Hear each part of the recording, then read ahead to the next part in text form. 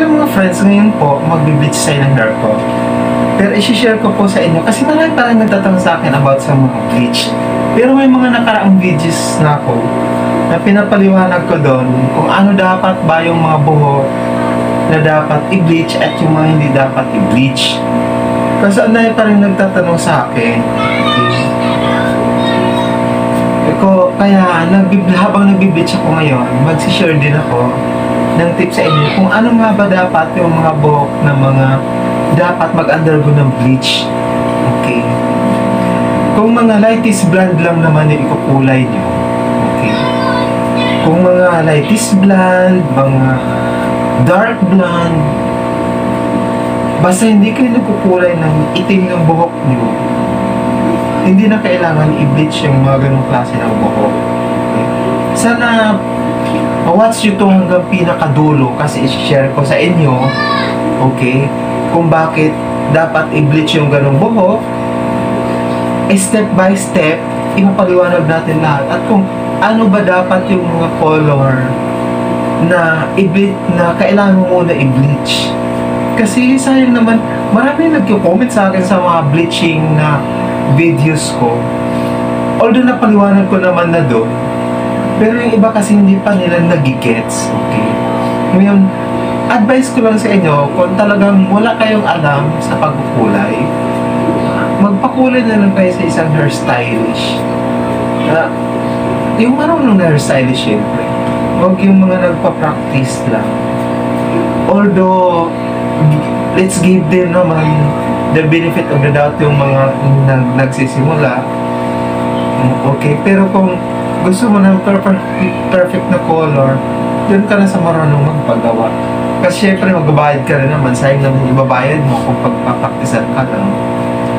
Pero kung libre naman, o at saka willing ka naman to na pagpraktisan o pagtsagaan mo na yung mga bagong nagsisimula, kung willing ka naman, okay. Pero sa mga hindi, pumunta na kayo sa stylish nyo. Tapos sabihin niyo yung kulay na dapat sa inyo kung may iniingatan kayo tungkol sa nyo, lalo na yung mga rebanded na mga buhok. Okay? Huwag na huwag kayo mag-bleach ng buhok pag hindi nyo alam, lalo na pag nag-undergo ng reband o kaya ng maraming kulay na yung buhok nyo. Kasi doon nagkakaproblema, doon nagkakaroon ng damage, doon nag doon nagkukos ng pagkasira. Pero kung kulay, kung kulay itself lang, wala ka dapat pa problemahin pero kasi kung nag-undergo ka ng mga ng mga like kulot, relax, urban, napakadelikado ng mga ganong klase ng buhok kapag i-undergo mo ng bleach. Okay, so kailangan mo magtanong sa expert kung dapat ba i-bleach, okay? Tsaka, mas maganda kasi yung nagtatanong kasi may mga kulay na katulad dun sa mga comments sa akin yung mga ganong klaseng color, hindi naman na kailangan i-bleach. Kasi ang ginawa niya, nag-bleach niya siya ng buhok niya. So, magiging masela na ngayon yung buhok niya. Uh, kahit pag na-bleach na kasi, uh, ibang klase na nagamot yung gagamitin mo dun pag mag-undergo ka ng reband para pwede ka na ulit mag-bleach ulit nun. Okay? May mga videos ako dyan na nag-bleach reband ako pinagsasabay ko yung bleach at saka yung... Pero, hindi yung mga ordinary na pang-reband yun. May designated na brand ng pang-reband para doon sa ganong klase ng buhok. Hindi yung nakasanayan natin na pang-reband na, na mabibili na mo saan-saan. Hindi yun pwede kasi magpuputol-putol, mag-rebreast, mag-isira yung buhok mo.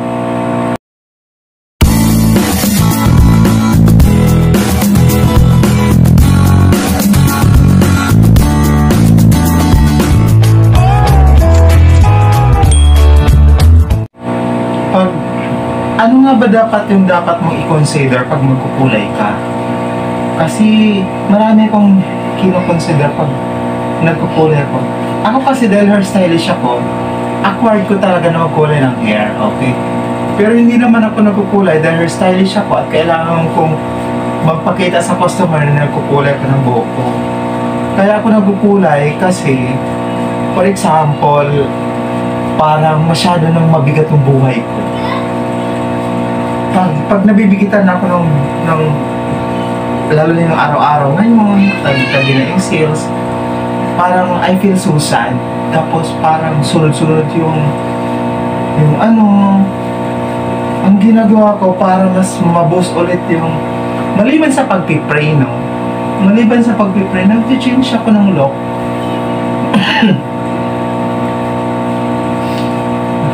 parang pag nag-change ako ng look, ng hairstyle, ng color, pagkat ano pa man dyan, basta meron akong mabago sa sarili ko, parang gumagaan yung pakiramdam ko. Maliban sa pagpipray, kasi nakakagaan naman talaga ng ano yung pagpipray. Ako kasi kahit nagpipray ako, hindi pa rin sapat. Parang isa to sa mga, may may kanya-kanya kasi tayo ng kung pagiging komportable ng pakiramdam. Ito yung one way of of ano ko, pag, pag, pagpapataas ng ng self-confidence ko. Um, yung pag pag-change look, pag-change ng color. Gusto kasi mag-green. As in yung super green talaga. Green or blue na hair.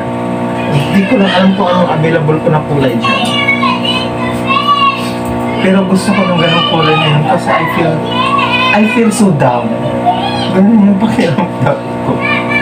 Hindi ko alam pero nowadays I feel so down talaga. As in, down na down yung pakiramdam ko. Hindi ko nung pinapalata. Pero down na down yung pakiramdam ko. Nasa sobrang down, I feel, I feel like I'm alone. Ganun yung pakiramdam ko. Sorry. Inuubo pa ako. Pero yung ubo ko naman, okay na. Uh, ang pagkukulay kasi ng buhok, sorry.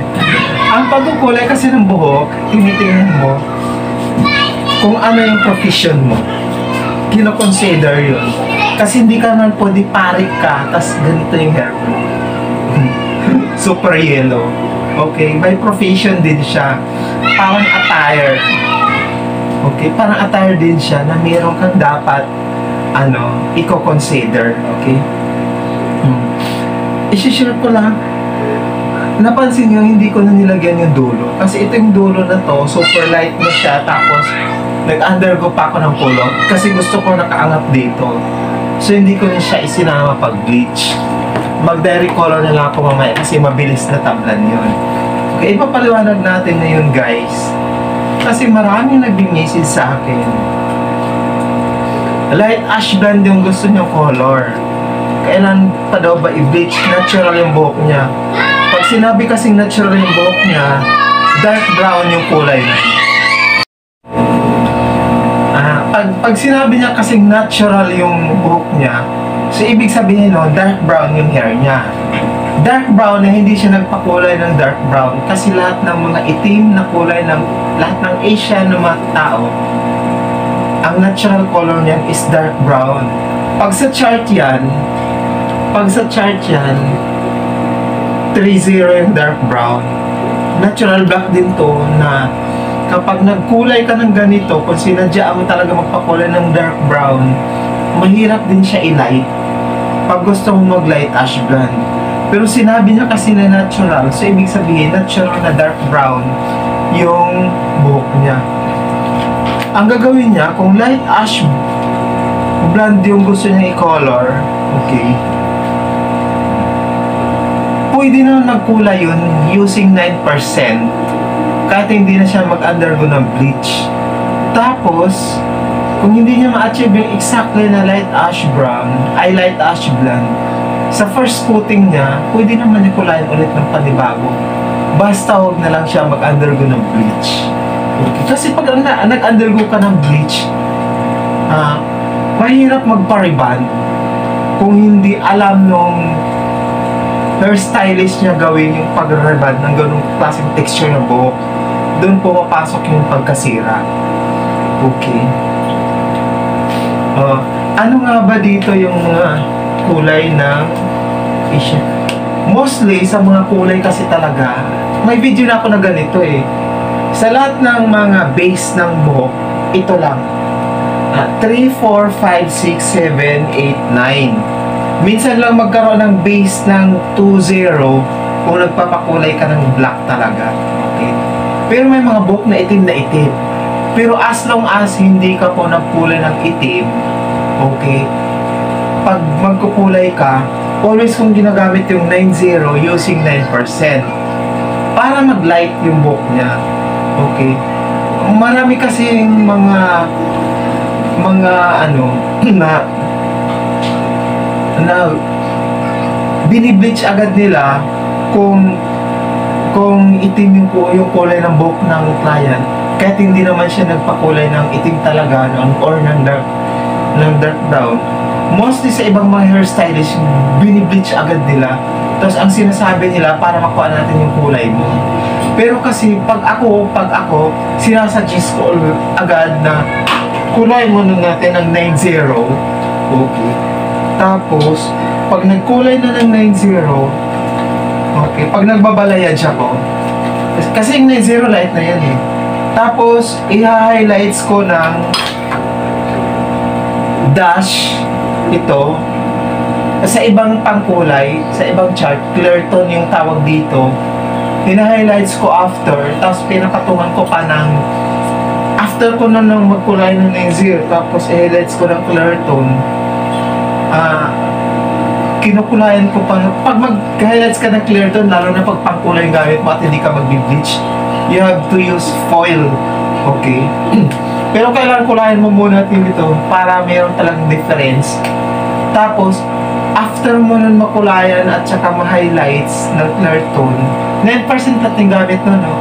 Patungan mo pa siya ng violet blonde o kaya ng ash. Okay, 9% pa rin yung gamit para mas maganda tingnan yung highlights. Para magpabalayage ka or balayage na talaga yung procedure na yun. Okay.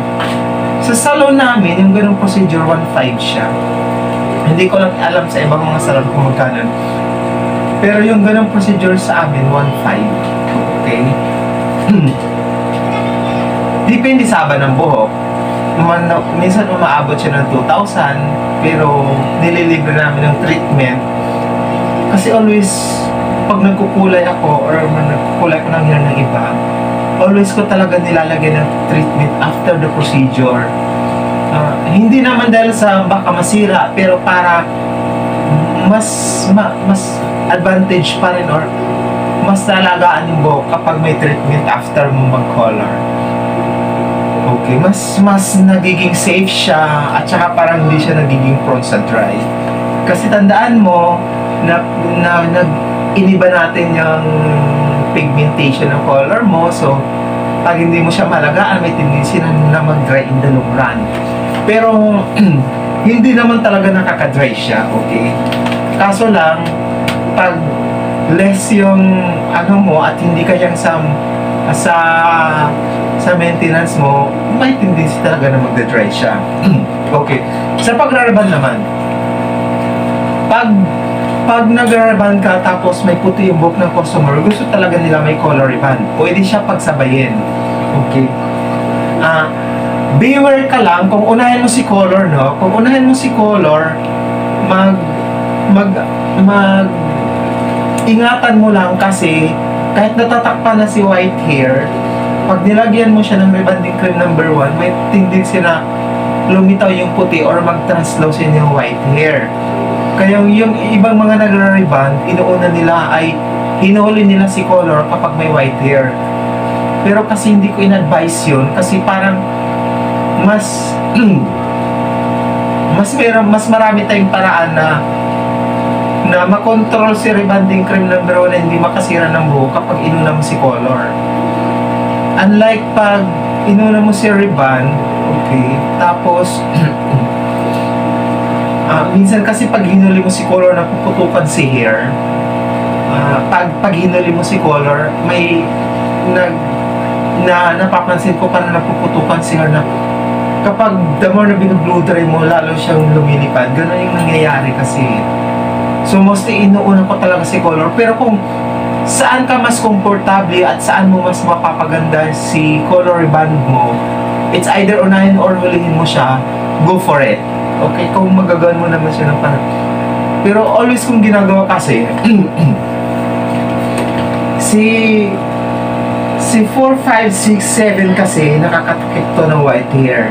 Pero si si 5, 6, 7 hinaluan ko yan sila ng ash para talaga nakakatakip sila kasi minsan pag walang halong ash si, si 5 si 5, 6, 7 nag-translucent lang si white hair napapansin ko tapos using 6% always 6% pag going dark yung procedure niya ang ginagawa ko, hinaluan ko sila ng ng ash, okay? Ah, magkasing dami lang sila. magkasing dami lang sila ng ash color at saka ng kung ano man dito sa ihahalo mo. Pero hindi ako gumagamit kay 7-0 kapag nag-undergo ng rebanding at unahin ko si color, lalo na pag may puti. Always kong ginagamit si 5-0 at saka si 4-0 kapag nagkukulay kukolor ribbon ako pag may white hair. Kasi pag nilagyan mo ng rebanding cream number 1 to, maglalighten pa siya na para isang linggo na yung kulay ng buhok. Pero pag ito yung ginamit mo si 450 kasi kahit na mag-rebanding number 1 kahit di nalalabas si white hair. Kailangan lang 1 is to 1 yung yung mixture mo sa kanila, si 4 at saka si 5. Ah, Ngayon naman, kung gagamitin mo si 6-0, okay, mas dinadamihan ko si, ano, si Ash.